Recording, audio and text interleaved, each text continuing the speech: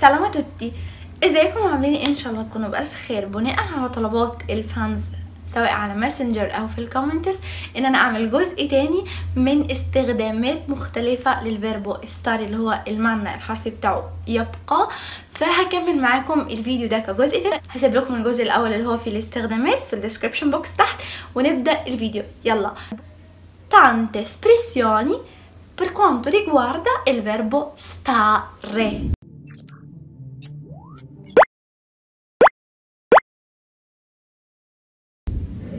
اول اكسبريشن معانا هو stare i patti يعني ريسبكتاري يعني احترام بقى للوعود الاتفاقات إحنا متفقين على حاجة معينة لازم إن إحنا نمشي عليها ونحترمها.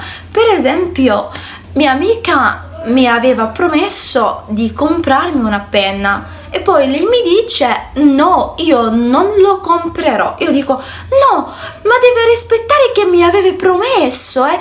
deve stare i patti.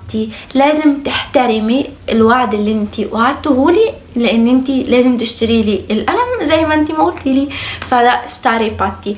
تاني expression معانا هو تاني expression معانا هو stare sulle sue cioè non dare confidenza per esempio dico che Marco sta sempre solo non parla con nessuno lui sta sulle sue يعني ماركو هو دايما لوحده مش بيتعامل مع حد هو دايما في حاله sta sulle sue تالت expression معانا stare con le mani in يعني شخص ما بيعملش حاجة في حياته قاعد كده ما بيعملش أي حاجة قاعد بيضرب كفين وخلاص.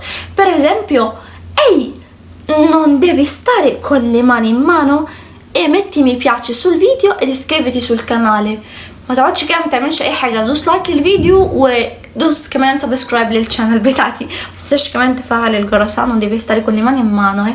أكيد الفكرة وصلت لكم طب نيجي لاخر اكسبريشن معانا في الفيديو وهو stare a qualcuno più infinito per esempio sta a te scegliere questa borsa o quella là sta a te scegliere mettere mi piace sul video o no يعني la tua scelta اختيارك تعمل ده ولا لا هو parla per quanto riguarda una decisione una cosa del genere يعني قرار بيناقش قرار sta a qualcuno وبعد كده infinito sta a te scegliere sta a te mettere mi piace sta a te mettere subscribe sta a te تفعل الجرس sta a te كل حاجة يعني تمام كده فهو sta a qualcuno وبعد كده infinito بناقش قرار طيب بكده نكون خلصنا الفيديو. لو عجبكم قلت لكم من المرة الألف اعملوا like للفيديو واعملوا subscribe كمان لل channel